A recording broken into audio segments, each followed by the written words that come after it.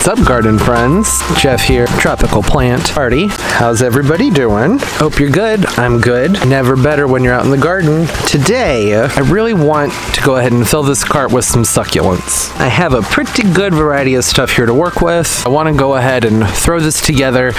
It, for now, it's going to be Halloween themed, but the colors of this cart work well. They lend themselves to being used really late September all the way through January, I would think. In my house, this would actually fit in the kitchen throughout most of the year. So I'm going to keep it kind of as a basic succulent planter and then add things in for the different holidays. So I have a few little holiday like fairy garden type things I'm going to put in there for Halloween. And then some things that are just general fall. And then in the winter time, I'll be doing things for wintry holiday type of things. I went ahead and I drilled some holes in the bottom, a whole bunch of holes actually. I had this lined with plastic and I poked holes through the holes in the plastic, but you could see it through the bottom and it was bothering me.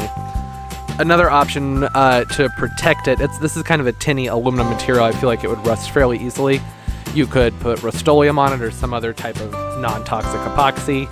I'm not doing that, these are succulents, I'm not going to be heavily drenching this in water really, so for now, I'm just gonna toss it together. To fill this, I'm going to be using the same sandy mix that I used in the uh, video with the jack-o'-lantern. That was my previous video. Put it in there. You could put a layer of rock or charcoal or something in the bottom. Again, these are succulents. I'm not going to be watering them heavily, so I'm not too worried about that. This is a uh, Miracle-Gro, the Cactus Palm Citrus Mix, and I added about 50% coarse sand to it uh, just because it retains a little bit more moisture than I would like for it to for cactus and succulents. This is definitely full enough. There's gonna be dirt coming out as things go in.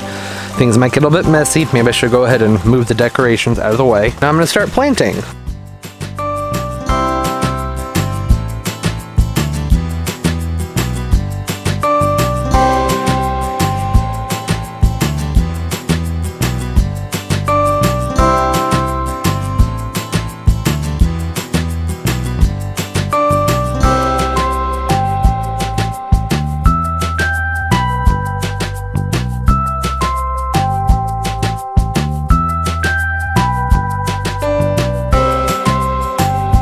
Okay, and now that that's done, I'm gonna go ahead and I'm gonna top dress this whole thing with some sand as well, just to kind of help hide the dirt and give it a more finished look.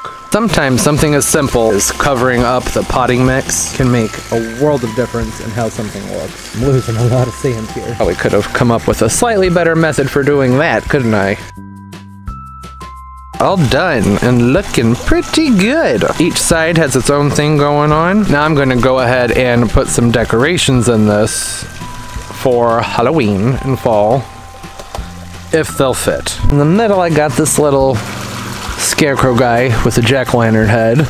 Put him right there. Wish he were a smidge taller. I have one I can swap him out for when Halloween's over that does not have the jack-o'-lantern head. Okay, and then I have a little mummy here they were really, really on decorations. So kind of just had to go with what I could find.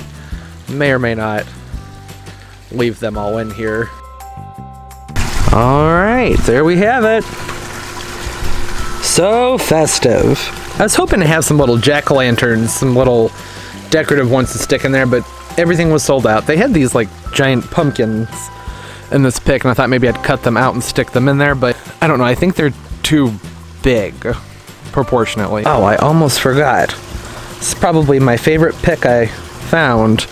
I'm not sure if that's going to fit in there though. Made it fit, it works. A little bit heavy on the decoration, but it's only for a few weeks and then it's gonna be back to just having succulents in there. Okay, so I'm gonna go ahead and go over what I have in here. I have four of these golden sedums. These are sedum Adolphis. They're real easy. They came in this pack right here with barely any dirt on their roots, so they just popped right in. Right back over here in this corner is the narrow leaf chopsticks. That's Senecio vitalis. Nice bluey powdery color, especially when it gets healthier. It's uh, kind of struggling. They didn't have the healthiest of plants to pick from. Oh, and back here, this is Crassula ovata. Gollum is a variety. It's similar to the Shrek ears or ogre ears I think it just stays a little bit smaller. In the middle, this is Echeveria Violet Queen with more of those sedums right next to it. Next to the mummy, this is Echeveria Painted Lady. And then this really nicely colored Echeveria right here is Pearl von Newburg. Oh, and then we have this cactus in the middle. That is a fairy castle cactus. I cannot remember the Latin name, but uh, I will write it out in here for you. I will use a spray bottle with a direct spray to just water around them very, very lightly. Maybe once a week, every other week. It really just depends on how dry the soil gets, but I let the soil dry a lot before I water them. Yeah, I know this is pretty crowded. It's it's gonna outgrow itself. And not too long, but that's okay. Do it again with different things. That's fun. Got our little mummy guy in here, this skeleton holding flowers with glitter on him, and our jack-o'-lantern and some mushrooms. Just in case you didn't know what these obvious things were right in front of you. Alright, that's it. Quick and easy. I can swap these picks out for different decorations throughout the year, depending on the time of year. It's nice. I like it. Comment down below. Let me know what's going on in your garden. Don't forget to like, share, and subscribe. Subscribing and sharing and liking really is a big help. I try and upload multiple times a week. You can also follow me on Snapchat, Trop Plant Party, one word. I'm also on Twitter, uh, Tropical Plant JC, I believe. They're all on my YouTube page. Hope everybody's doing well, and as always, keep on growing, everybody. Bye bye.